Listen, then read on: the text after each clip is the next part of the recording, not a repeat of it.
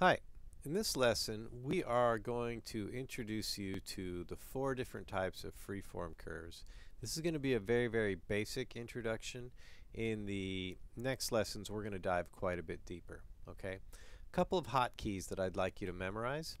F10 turns your points on, F11 turns your points off. You don't know what points are yet, but points are something that you are going to become quite familiar with and they are used in the creation and the um, utilization of freeform curves. Okay.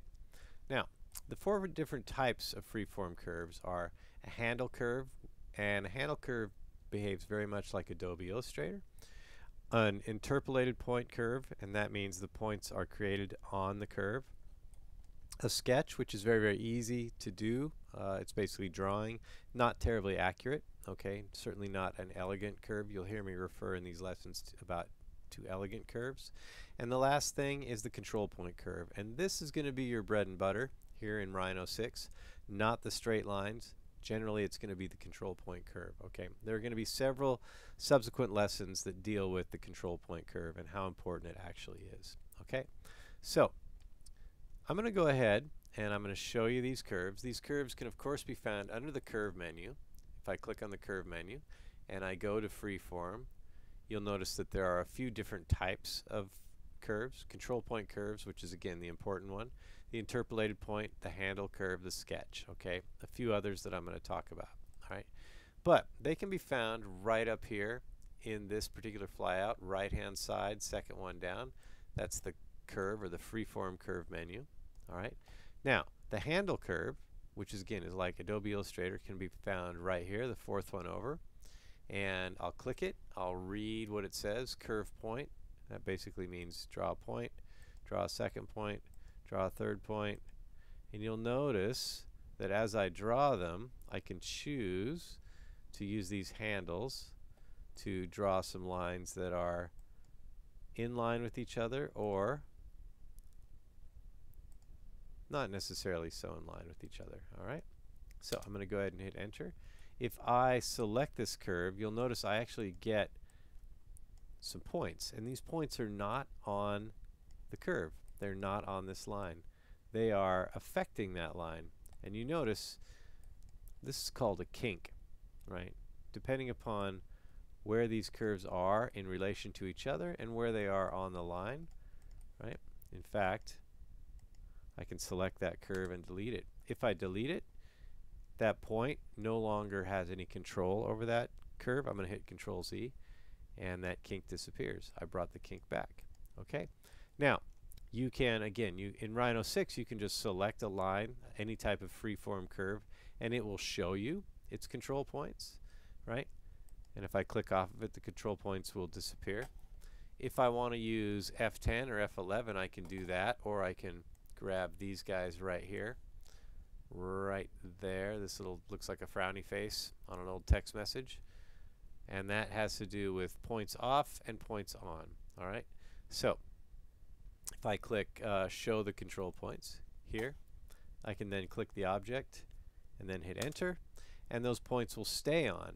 So I can begin to grab those points and move them around as opposed to if I didn't have the points on when I would click off like I'm doing here the control points would disappear. All right, so that's a new addition in Rhino 6.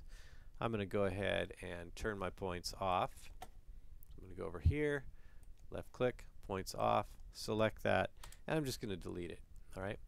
The next type is an interpolated point curve here, and you'll notice that as I begin to draw, these points actually will stick to this curve. Enter. Until I select the curve, and then you'll notice that the control points which are points in space which exhibit some sort of control, right? Some sort of magical powerful force over these curves. You'll notice that those were not actually on that curve. All right, I'm going to select that curve and I'm going to delete it. The next one is called a sketch. That's basically just me holding down my left mouse and drawing, right? And if I can hit enter to finish, if I select it, you'll notice here are a bunch of control points as well. And I'm going to go ahead and select this guy and delete it. The one that you really want to be working with is this one here, the control point curve. Okay? And in fact, that one's so common and so important in Rhino. I'm going to close that window that I just had open. And I'm just going to go over here to the left and I'm going to click on it. And then that is, by default, going to be a control point curve. When you draw a control point curve, you're creating points in space that are going to, like I said, influence this curve. Okay? Once you've finished it, it'll disappear. You select it, you can find those control points. All right? Now, like I said, in the next lesson, we're going to dive deeper into what these control points actually are and how they work. This lesson is just to show you more or less where to find the icons for control point or uh, for freeform curves. The last one I want to talk about is a control point curve through points.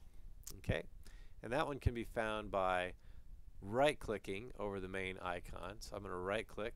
It'll say select points to build a curve through. I can select all these points I have. I can hit enter and then there we go. I've got a curve that was created using those points. You'll notice I'm going to have to go up here and hit enter to accept the settings. All right. So there's those curves and you'll notice that these control points have not that much to do. Every point I drew on the curve has a corresponding control point that is somewhat near it but it's not on it. It's not adjacent. It is, I guess it's adjacent to it. All right. So I'm going to stop the lesson here, and in the next lesson, we're going to cover a little bit more about control point curves. Okay, thanks very much. I'll see you in the next lesson. Make sure you pay attention to it because it's an important one. Thanks. Bye-bye.